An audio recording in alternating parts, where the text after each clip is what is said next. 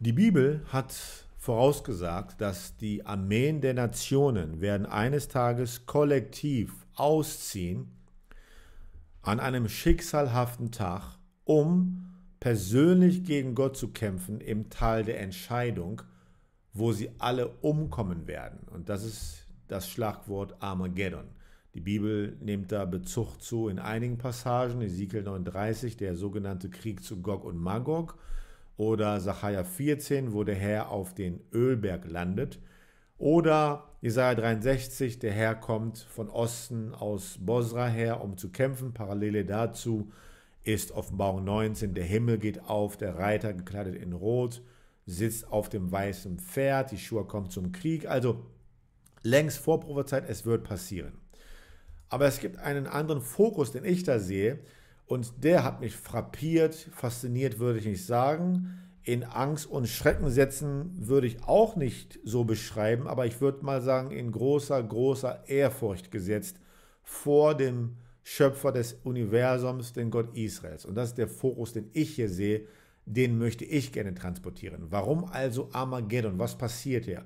Warum ist die Gesinnung so, dass die Menschen ausziehen, um persönlich gegen Gott zu kämpfen? Was hat dazu geführt?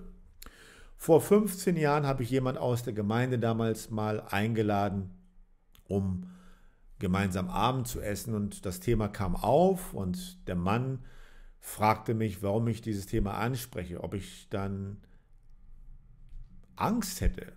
Naja, Angst nicht, aber es hat mich längst beschäftigt, denn die Bibel sagt, es wird passieren und mir war klar, es wird passieren. Aber was führt dazu? Ich konnte es nicht sehen, wie diese Gesinnung jetzt aufkommen wird, wie Menschen alle jetzt ausrücken, um gegen Gott zu kämpfen. Jetzt in den letzten drei, vier Jahren sind gewichtige Dinge passiert, die mir das klare Verständnis geben, sehr wohl möglich, genauso wird es passieren und jetzt kann ich es nachvollziehen. Ohne Wenn und Aber. Jetzt kann ich nachvollziehen, wenn ich morgen hören würde in den Nachrichten, die Menschen haben sich gerade bereit gemacht, um gegen Gott zu kämpfen, da würde ich mehr als vor 10, 15 Jahren sofort sagen können, verstehe. Okay?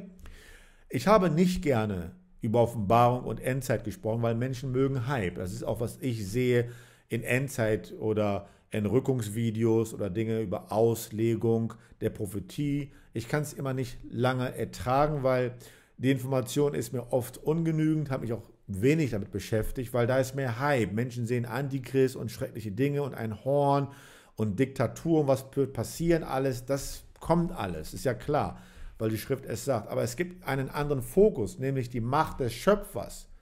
Und wie alles, was er sagt, passiert und warum das passiert, das ist mehr im Fokus als Antichrist etc. Es gibt eigentlich gar keine Macht des Antichristen. Versuche ich immer wieder zu sagen. Wenn jemand das Volk Gottes wirklich liebt, soll er das Volk Gottes erzählen, was zu Armageddon überhaupt hier verstanden werden sollte.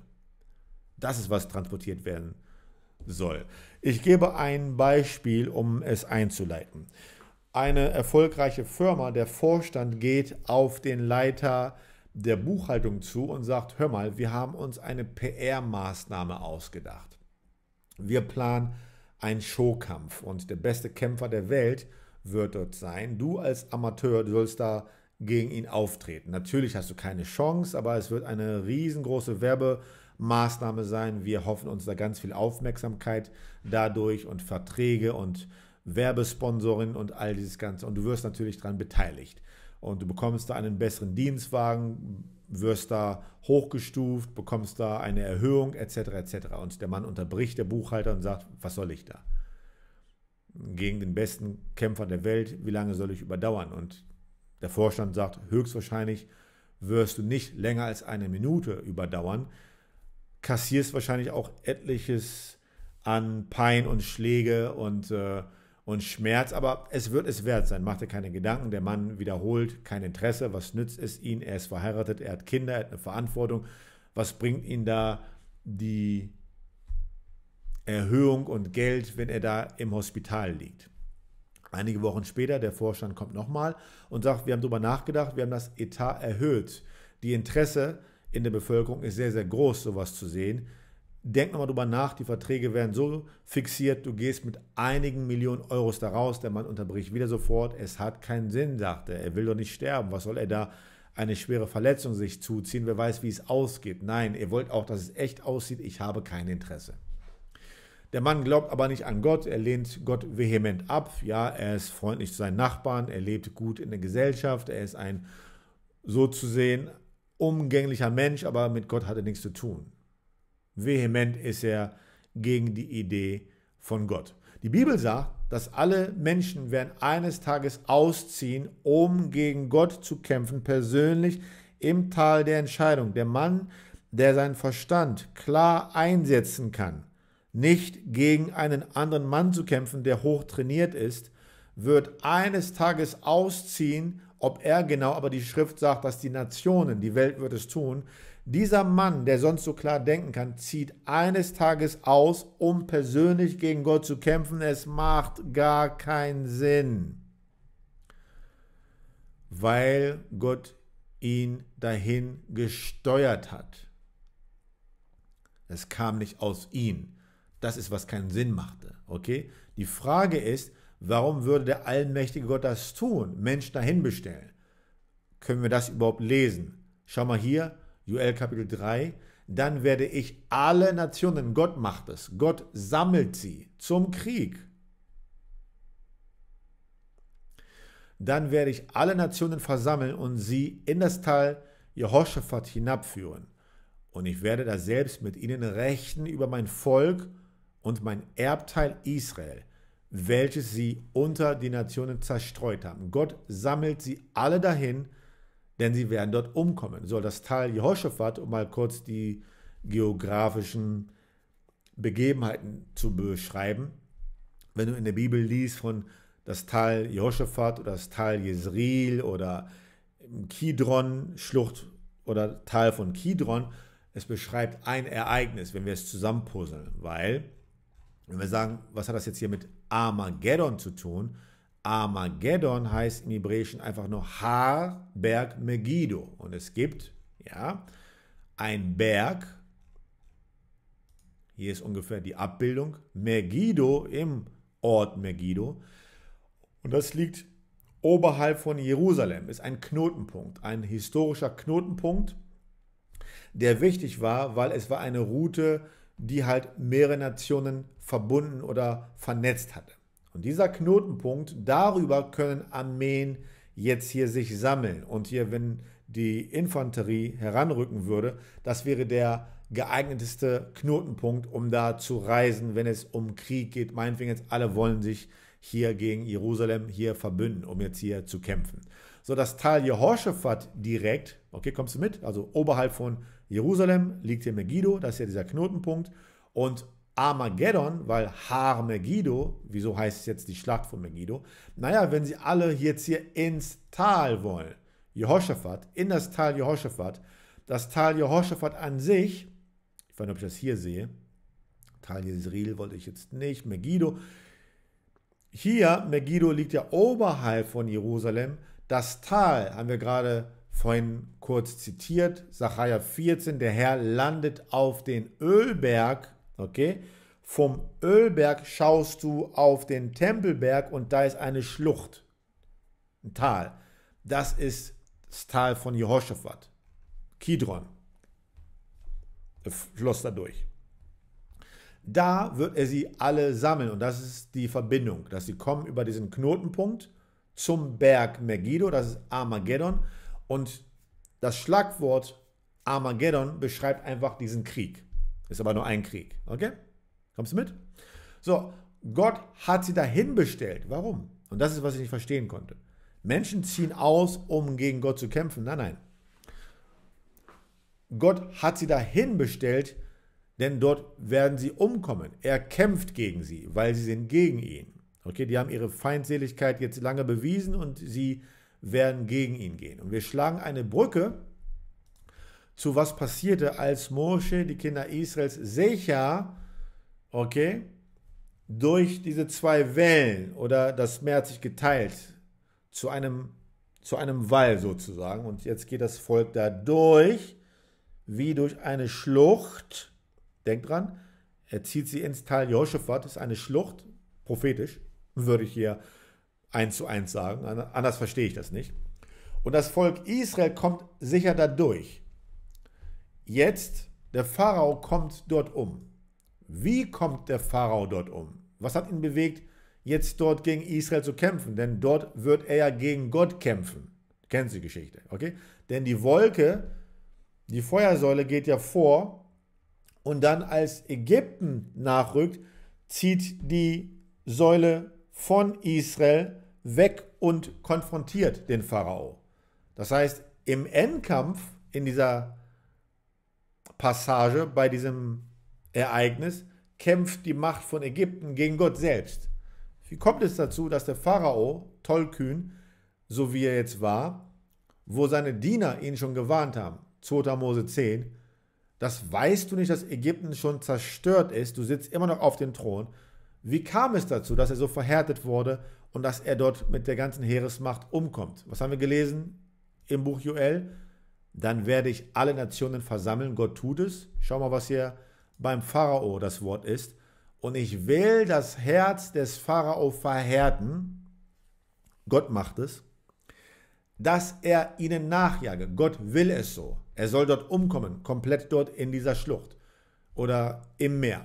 Und ich will mich verherrlichen an dem Pharao und an seiner ganzen Heeresmacht. Okay? Die Heeresmacht kommt jetzt hier um und die Ägypter sollen erkennen, dass ich Jehova bin und sie taten also. Genauso ist passiert. Gott hat sie dahin bestellt. Aber was war die Vorgeschichte? Du gehst an dem Tag vorbei und siehst, die ganze Armee kommt um wie kam es dazu?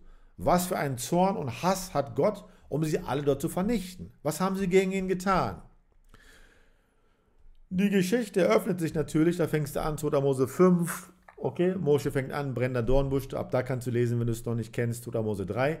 Und jetzt hier, der Mosche geht hin, um den Pharao zu befragen, dass er oder zu fordern, dass er Israel freilassen soll. Gott hat den Auftrag gegeben. Gott hat von vornherein gesagt, Pharao wird nicht hören. Pharao ist ein Typus für den Satan und er hält die Kinder Gottes fest in seiner Festung. Ja, er will sie nicht ziehen lassen. Als er das Volk ziehen lassen soll, hat der Pharao etwas gesagt. Ich habe mehrmals diese Stelle immer im Urtext nachgelesen, denn das muss man sich erstmal hier vor Augen führen. Mosche sagt zum Pharao, lass das vollziehen. Und Pharao sagt etwas. Er sagt, wer ist denn Gott, dass ich auf ihn hören soll? Das kennen wir. Aber immer wieder habe ich das im Urtext nachgelesen, denn es ist sogar schwer vorzulesen. Im Urtext, Vayomer Paro, und sprach Pharao, mi, wer, und jetzt spricht er den Bundesnamen aus, Yod-He Vav-He. Den spricht er aus. Er sagt nicht Gott, er sagt noch nicht mal Gott der Herrscharen oder der israelitische Gott, er spricht den persönlichen Bundesnamen aus in diesem Diskurs.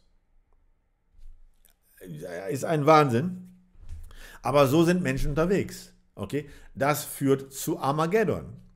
Das ist nicht ein Aufbau, der innerhalb zwei Minuten oder zwei Tage, aber das ist der Aufbau. Der ganze Prozess mit dem Pharao ging ja auch einige Monate und dann kam es zu diesem Ereignis. Okay? Also, der Pharao sagt, Vayome Paro, Mi, wer ist, dann spricht er den Bundesnamen aus, Yod He Vav Asher, das, Eshma Bekolo, dass ich auf seine Stimme hören sollte, Le Shalach et Israel, um Israel zu schicken, also freizulassen. Lo Yadati, ich weiß nicht, et, spricht es nochmal aus, den Bundesnamen Yod He Vav Spricht es aus. Vegam et Israel, lo Ashaliach, ich schicke Israel nicht weg. Ich kenne Gott nicht. Spricht aber den Bundesnamen. Ich habe es immer wieder im Urtext nachgelesen. Unfassbar. Deswegen, in den Psalmen steht drin, küsst den Sohn, ehe er ein wenig zornt. Denn wenn der Schöpfer es ausspricht, weil Pharao ist ja ein Bild für die Schlange. 1. Mose 3, er sagt zu der Schlange, verflucht seist du über alle Tiere des Feldes, auf deinen Bauch wirst du kriechen, was war der Fluch? Du wirst nach deinen Gelüsten gehen, nach deinen Wählen wirst du gehen, ist der Fluch. dein Wille war es aber gegen Gott zu rebellieren, in diesem Fluch bist du gefangen, du kommst da nie raus, du wirst gegen mich rebellieren, bis du umkommst. Das ist der, der, der Todesausspruch. Diesen Fluch bekommt der Kain auch. Jetzt liest du aber von dem Kain, du siehst vielleicht noch den Kain im Garten. Sieht eigentlich aus wie ein umgänglicher Mann, wirst du sagen. Ne? Ist jetzt keine Hörner, die da rausgesprossen sind oder er hat keine Klauen oder scharfe Zähne. Er geht mit seinen Kindern vielleicht sogar gut um. Und er grüßt auch. Und er bestellt das Haus und er hat eine Frau. Aber er ist verflucht. Jetzt liest du, warum ist der Mann verflucht? Wieso kommt er nicht mehr zu Gott? Dann siehst du, was er getan hatte, wie rebellisch er war gegen Gott. Es gibt aber nicht nur ein Kain, nicht alle Menschen auf der Erde waren in der gleichen Position, dass sie ein Mincha suchen sollten, um es zu opfern. Nicht alle Menschen auf der Erde haben das ausgesprochen wie der Pharao und haben gesagt, wer ist jetzt hier Gott, dass ich Israel schicken soll. Aber es gibt mehrere Keins und mehrere Antichristen in den Menschenkindern, die so unterwegs sind, ja? Und eines Tages führt es dazu, dass sie hier landen. Eines Tages landen sie dann hier im Tal. Du siehst nur eine, eine Horde von Menschen, aber wie damals zu Zeiten von Ägypten, weißt du, was die Geschichte war. Alle haben gegen Gott rebelliert und das sagt dir das Buch der Offenbarung. Der Fokus hier, den wir haben sollten, ist ein anderer. Nummer eins, die Allmacht Gottes. Küsst den Sohn, ehe nur ein wenig zornt. Weil wenn der Herr es ausgesprochen hat, er muss jetzt gar keine langen Sachen neu schaffen. Er spricht es aus und das war's gewesen. Sein Wort ist fix. Küsst den Sohn, ehe er nur ein wenig zornt. Weil ehe man irgendwas Unvorsichtiges sagt, wie Gott bewahre so ein Ausspruch, oder man hat da zu sehr rebelliert und man verharrte zu lange in der Sünde, und wieder Gott geprüft und Gott geprüft. Und Gott spricht es aus, wie bei Israel. Und ihr werdet in dieser Wüste sterben. Das war's gewesen. Selbst Mosche, keiner konnte es mehr umwenden. Küsst den Sohn, ehe er ein wenig zornt. Wird mal mit Gespräch, wird mal ein Gespräch gehabt mit Geschwistern. Und da haben wir gesagt, dann scheint es ja so, gelobt sei Gott, dass wenn wir noch sitzen können und wir sind noch so klar bei Verstand, dass wir aus der Schrift lesen können, was der Herr will, und wir machen uns Gedanken darüber, ins Gebet zu gehen, um ihm zu gefallen, und wir fragen noch um den Zustand unserer Seele, denn scheint er mit uns zufrieden zu sein. Er gibt uns Gnade. Ich würde noch nicht mal sagen zufrieden, aber er gibt uns Gnade. So viel können wir vielleicht schon mal sagen. Gnade gibt er uns. Denn wenn keine Gnade da wäre, dann wäre man ja in so einem Zustand, dass man gar nicht empfänglich ist. Und das hat sich gezeigt in den letzten Jahren, wie unerreichbar bewusst Menschen eigentlich sind oder geworden sind. Irgendwas ist passiert. Ich weiß nicht im Detail, welchen Prozess Gott immer da wählt. Aber irgendwann ist Schluss, dass jemand noch zur Buße findet. Nur ich weiß nicht wann, deswegen gehen wir mit Bedacht vor, wir predigen das Evangelium, wir versuchen alle Menschen zu erreichen, bis jemand persönlich sagt, er will nichts von Gott wissen, er will nichts mehr hören, er hat sich entschieden. Gut, dann kann ich erstmal ablassen, ich kann vielleicht weiterhin beten, aber da brauche ich erstmal nicht mehr weitermachen. Ist das schon der finale Zustand? Ich weiß es nicht. Aber am Ende, wenn Armageddon passiert, und ich kann mir sogar sehr gut vorstellen, aus heutiger Sicht, unter welchem Vorwand die Menschen alle dort ausgerückt sind, um im Tal gegen Gott zu kämpfen. Okay? So wie ich es auch nicht verstehen konnte vor Jahren, diese ganzen Filme, die du siehst, über irgendwelche Außerirdischen, auch gerade kursiert das wieder. Ich weiß nicht, warum Menschen sich mit sowas beschäftigen. Ist so ganz klar, dass der Antichrist oder diese ganzen Geister, die sind gesetzt worden für dieses Ziel. Es gibt gar keinen Krieg. Ja, der Krieg ist vorprophezeit, Ezekiel 39. Sieben Monate wird es brauchen, um die Leichen zu zu bergen. So groß wird die Schlacht sein. Aber der Kampf ist im Nu vorbei. Gott rächt sich dort gerade. Ja, an dem Tag. Und keiner kann es aufhalten. Es wird passieren. Nur, jetzt kommt's, wir werden höchstwahrscheinlich nicht da sein, weil wir entweder schon getötet wurden oder wir haben es geschafft, durch die Gnade Gottes uns irgendwo zu verstecken für die Dauer der Drangsal, bis er wiederkommt. Die meisten von uns werden es nach der Bibel kaum erleben. Deswegen die Botschaft hier ist, hör auf mit dem Flirten, mit der Sünde, hör auf hier und dort Ausreden und Auswege zu suchen. Hör auf, dich auf Nichtigkeiten, irgendwelche Ziele, die du noch erreichen möchtest, sondern sehe zu, dass dein Haus mit Gott in Ordnung ist. Denn dieser Zustand, dass Menschen nicht mehr erreicht werden können, ist der Zustand wie bei Kain, dass er nichts mehr kann, obwohl er noch lebt und noch Gemüse pflanzt im Garten. Und der Zustand von einem Pharao, der monatelang auf dem Thron sitzt, herrscht über ein vollkommen zerstörtes Ägypten und er sieht es immer noch nicht. Aber Gott war noch längst nicht fertig. Er hat es gewagt, diesen Ausspruch zu machen, er kennt Gott nicht. Die Ägypter waren groß in Historie. Historie ist, dass Ägypten sehr wohl wusste, warum die Hebräer da waren.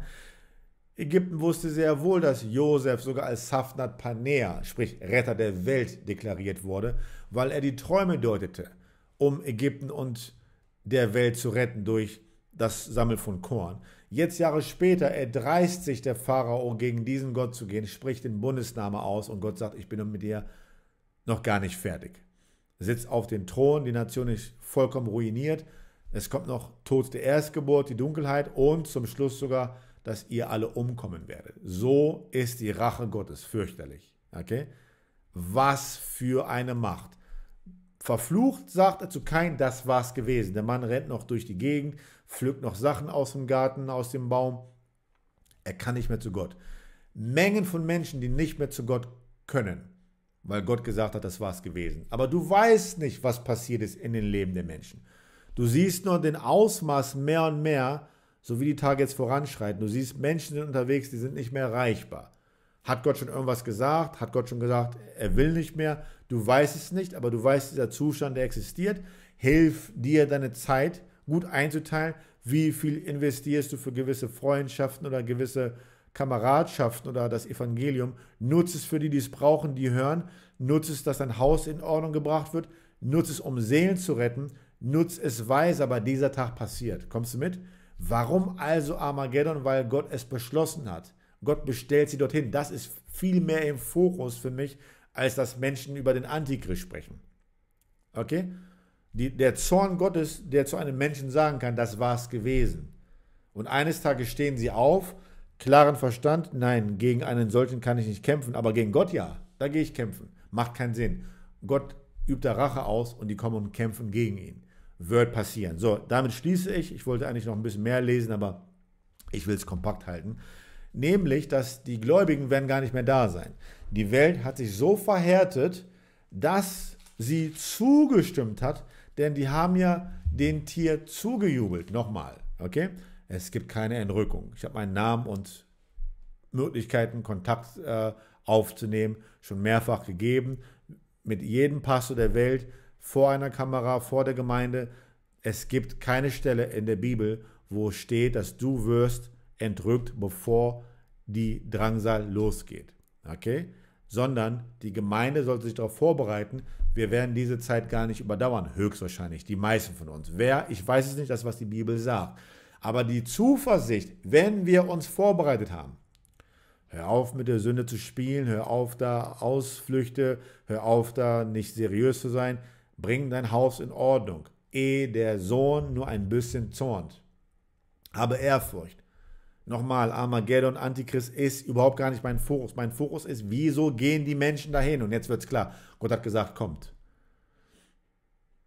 Es sieht aber so aus, dass sie rebellieren. Die tun es ja auch. Ja? Die schmieden Pläne, um gegen Gott zu kämpfen, aber Gott hat sie dahin bestellt. Kann das, was ich transportieren möchte, kommt das rüber? Das ist bei mir höher im Fokus als alles andere. Furcht vor Gott zu haben, wie mächtig er ist, wenn er genug hat.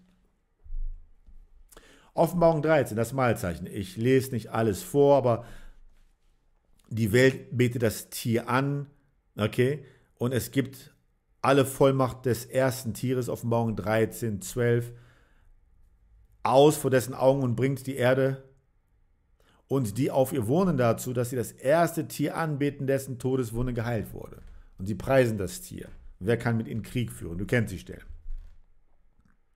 Und es wurde ihm gegeben, dem Bild des Tieres einen Geist zu verleihen, so dass das Bild des Tieres sogar redete und bewirkte, dass alle getötet wurden, die das Bild des Tieres nicht anbeteten. Das heißt, bevor Armageddon passiert, wurde das Mahlzeichen implementiert. Alle, die gesagt haben, nein, wurden getötet, die man fassen konnte. Ja? Nur Jeshua weiß, wer überlebt. Aber die meisten Gläubigen werden getötet, bevor es losgeht. Das ist Kapitel 13. Jetzt 16 erfüllt sich das, was in den Propheten schon längst beschrieben wurde. Diese Lügengeister, die Gott ja zugelassen hat für dieses Ziel, okay, die Lügengeister machen, machen hier folgendes. Es steht drin,